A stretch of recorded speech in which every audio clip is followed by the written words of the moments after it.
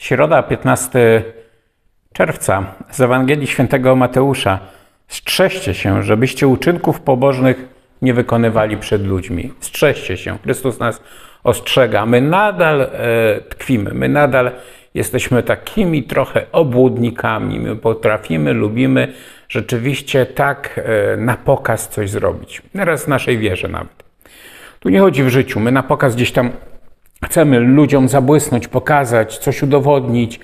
Y, staramy się ponad siły nieraz nasze. Zobacz, mam to, posiadam to, jakieś dobra.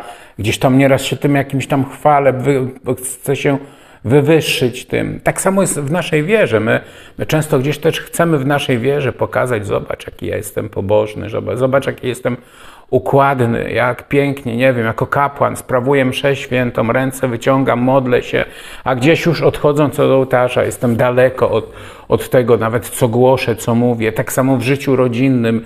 My możemy chodzić, mówić piękne świadectwa na, na grupach, na wspólnotach, a, a gdzieś zaniedbywać różne sprawy domowe, rodzinne, w wychowaniu dzieci, w tym wszystkim, przesiadywać całymi dniami w kościele na adoracji, a nie być w domu, nie być matką, nie być ojcem. To wszystko jest rzeczywiście w nas i to w jaki sposób, przepraszam, że tak mówię entuzjastycznie, szybko, ale e, gdzieś te myśli takie cały czas mi napływają i, i, i my takie coś pokazujemy. My, my żyjemy takim na pokaz, na chwilę, zobaczcie.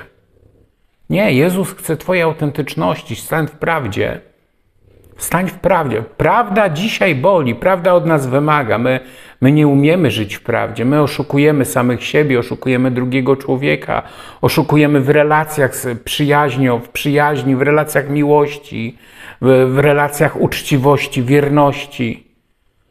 Jesteśmy takimi manipulatorami. Na szczęście Bóg zna się na naszym życiu, zna się, zna się na naszych e, manipulacjach. On zna prawdę. Nam się nieraz wydaje, że my przed Panem Bogiem coś ukryjemy, że staniemy pięknie, rączki złożymy, alleluja, rękę do góry. E, nie, nie. My to cały czas gdzieś na zewnątrz pokazujemy. Jezus zna do głębi Twoje serce. Twoje serce, moje serce. On wie, jakim ja jestem. Dobrze, że gdzieś tam mamy te pokłady tego ukazywania. Tak, to też jest coś dobrego, ale z tych słów, z tych gestów mają wychodzić czyny. Po owocach, po czynach ich poznacie. To jak ja będę żył w relacji małżeńskiej, kapłańskiej, w relacji yy, z parafianami, ze wspólnotą, z kapłanami, z mężem, z żoną, z dziećmi, z rodziną, to będzie ukazanie tego. Nie bądźmy fałszywi. Fałsz... To, co może być w nas najgorsze, czego Bóg, Bóg patrząc na nas się wstydzi, to nasze fałszywe życie, nieautentyczne, nieprawdziwe. A my mamy być ludźmi prawdy, ludźmi uczciwymi.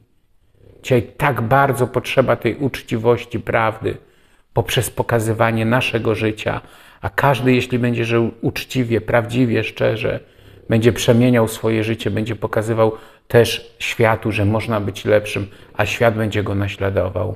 Serca Wam na życie w prawdzie, w życie autentyczności błogosławię w imię Ojca i Syna i Ducha Świętego. Amen. Szczęść Boże. Do zobaczenia jutro.